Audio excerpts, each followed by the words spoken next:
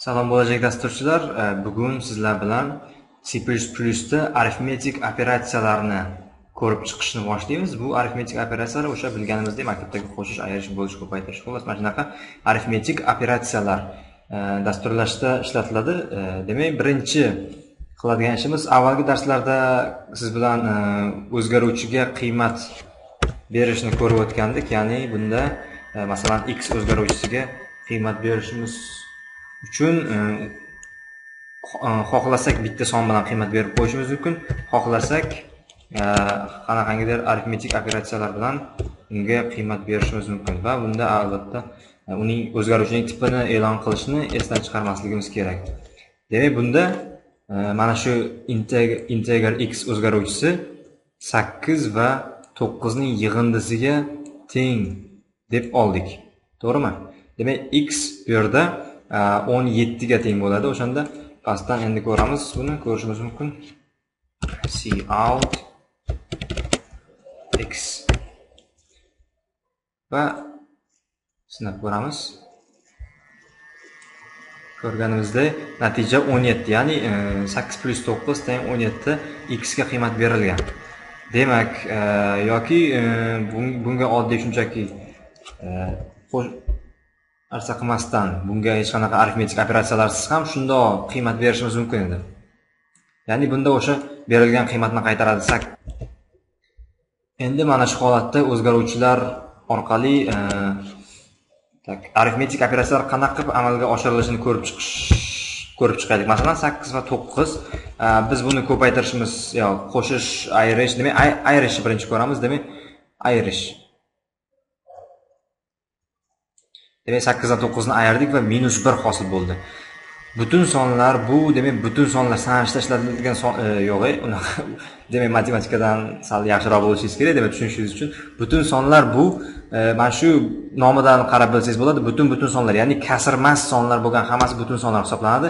Demak bularga minus sonlar ham kiradi va plyus sonlardan ham butun bo'ladi. Demak masalan nol butun besh nol butun o'ndan yigirma bir bular umuman butun sonlar emas ular e, kasr sonlar deyiladi yoki haqiqiy sonlar deyiladi. Biz hozir integer deganda butun sonlar bilan ishlatyapmiz ya'ni bular butun butun sonlar. sakkiz to'qqiz o'n besh minus yigirma demak bularni ichida minus ham bor. Demak ayirish belgi ayirish ishorasini ko'rdik. Masalan endi e, ko'paytirish belgisini ko'rib chiqishimiz mumkin. Ko'paytirish c plyus plyusda e, x bilan berilmaydi. Agar x qilsangiz bu xatolikka olib kelishi mumkin.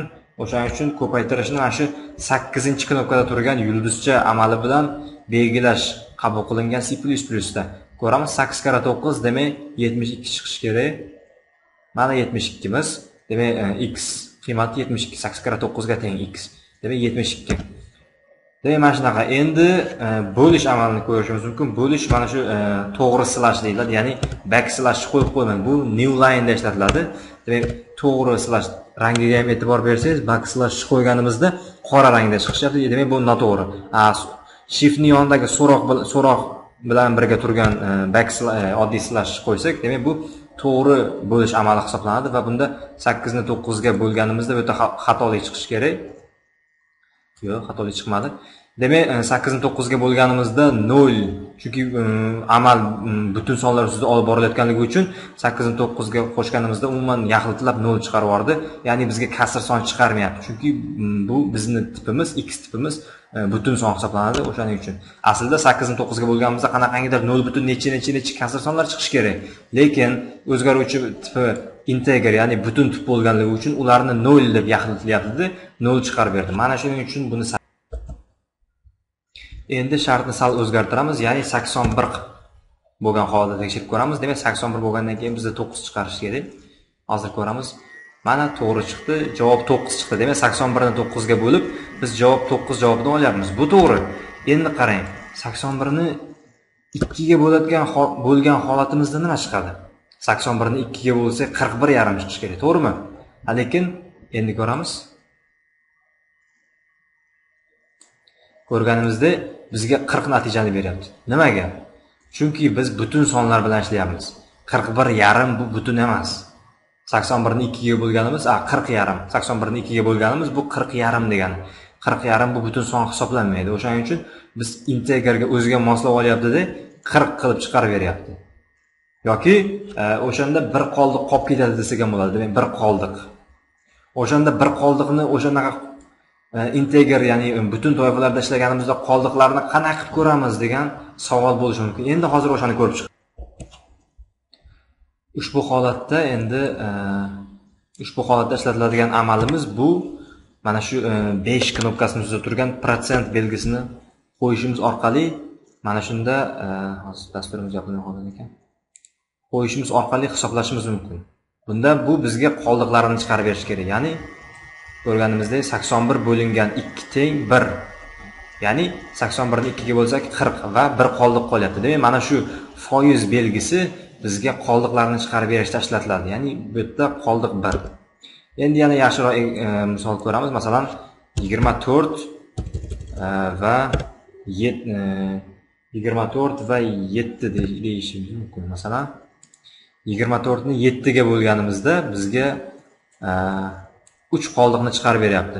Aslida yigirma to'rtni yettiga bo'lsak e, aslida yigirma to'rtni yettiga bo'lganimizda uch bo'ladi. Ya'ni uchtadan e, uch karra yetti yigirma bir va bizda uch qolyapti. To'g'rimi? Mana shu demak ko'rganingizdek bu qoldiqlarni chiqarib berishda e, uch butun uch emas faqat qoldiqni o'zini chiqarib beradigan operator hisoblanadi. Mana shu foiz belgisi. Buni ham eslab qolishimiz kerak bo'ladi. Endi murakkab Э, amallar bajarilishini bir nechta qiymatlar bo'lgan amallar bajarilishini bir ko'rib chiqamiz. Masalan e, besh plyus e, to'qqiz ko'paytirilgan to'rt plyus o'n to'rt ko'paytirilgan ikki bo'lingan o'n besh. Ana endi e, bu yerda savol tug'ilishi mumkin. Qaysi amallar birinchi bajariladi? Qo'shish amalimi yoki ko'paytirish amalimi? Agar chunki nima uchun aytyapman chunki agar bularni o'rnini almashtirib bajarilsa bular e, chiqadigan natija umuman o'zgarib ketadida. O'shaning uchun e, agar esingizda bo'lsa yettinchi sinf matematika kitobida mm, amallarni nima desak bo'ladi amallarni narsasi xususiyati amallarni obro'yi desakmi amallarni darajasi bor edi. O'shanda aytilishicha eng avval ko'paytirish belgilari mana bu ko'paytiriladi. И mana bu ikkovi ko'paytiriladi. Keyin bu natijasi bo'linadi. Undan keyin bu ikkoviga qo'shiladi va bu hammasi oxirida qo'shiladi. Demak bular ularni e, mansabiga qarab mansabiga qarab bajariladigan narsa. Yoki agar qavs belgisi qo'yib qo'yadigan bo'lsak e'tibor berasiz. Qavs belgisi qo'yib qo'yadigan bo'lsak avval birinchi bu ikkovi bajariladi qo'shib olinadi. Va bu natijaga ko'paytiriladi va ko'paytirilgan natija ikkiga ko'paytirilib ko'paytirib oxirgi natija o'n beshga bo'linib keyin besh qo'shiladi. Bunda ham natija har xilcha demak qayerga qanaqa qavs qo'yishingiz qo'yishingizga qarab natijangiz har xilcha bo'lib ketaveradi. Masalan mana shu ikkita qavs qo'yilgan holatdagi natijani eslab qolamiz masalan. Demak natijamiz yigirma olti umumiy natija yigirma olti. Endi qavslarni olib tashlab hisoblab ko'rishga harakat qilamiz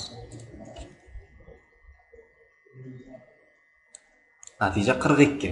Ko'rdingizmi demak qavslar qo'yishingizga qarab natija ham o'zgaradi. Qayerga e, chunki amallar bajarilish tartibi o'zgaradi. E, endi yana bitta oddiyroq misolni ko'rib chiqamiz. Endi masalan besh qo'shilgan e, to'qqiz qo'shilgan o'n bir. Endi bu yerda qanaqa qaysi qaysi amal birinchi bajariladi deb so'raydigan bo'lsangiz bu albatta bunda natija bir xil chiqaveradi. Qayerga qavs qo'yishingiz bu ikkovini qavsga olasizmi yoki bu ikkovini qavsga olasizmi farqi yo'q. Chunki bu e, amallar bir xil e, bir xil darajaga ega amallar va chapdan o'ngga qarab o'ngdan chapga qarab farqi yo'q. Qanaqa bajarilishidan qat'iy nazar natija bir xil chiqaveradi.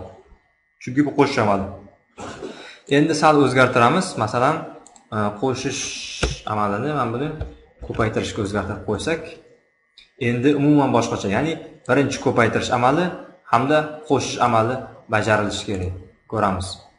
Demak to'qson to'qqiz va besh bir yuz to'rt. Xuddi mana shunaqa bir yuz to'rt amali chiqdi to'ppa to'g'ri. Demak mana shu endi agar biz birinchi beshga to'qqizni qo'shib keyin o'n birga ko'paytirmoqchi bo'lsak nima qilamiz? Demak bunaqa paytda biz albatta qavslardan ishlatamiz. Qavslarni ishga solamiz. Bunaqada endi beshga to'qqizni qo'shib o'n to'rt hosil qilamiz hamda o'n birga ko'paytirib nechi bir yuz bir yuz ellik to'rt degan natijani olamiz. Matematikaga unchalik yaxshi emasman bir yuz ellik to'rt degan natijani olamiz. Demak bu mana shu bugungi dars mana shu edi. Ya'ni bunda bilishingiz kerak bo'lgan narsa matematik amallarning arifmetik amallarning bajarilishi ketma ketligini bilishingiz kerak bugungi darsimizda. Ya'ni avval ko'paytirish bo'lish keyin esa qo'shish ayirish amallari bajariladi. Agar mm, bu ko'paytirish bo'lish и e, ko'paytirish bo'lish bular bir xil darajali amallar. Qo'shish ayirish esa ulardan pastroq darajadagi bir xil darajali amallar. Ya'ni qo'shish ayirish bilan bir xil darajali. Agar ular e, bitta qatorda kelib qoladigan bo'lsa nima bo'ladi? Masalan masalan e, masalan besh plyus to'qqiz ayrilgan o'n bir.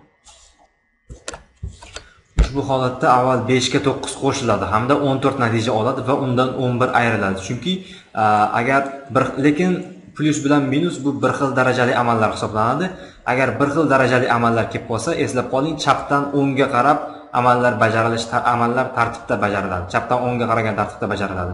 Demak bitta ko'rib olamiz bizga necha chiqishi kerak? Uch. To'ppa to'g'ri mana uch. Beshga to'qqizni qo'shdik o'n to'rt va o'n birni ayirdik uch. Hammasi to'g'ri.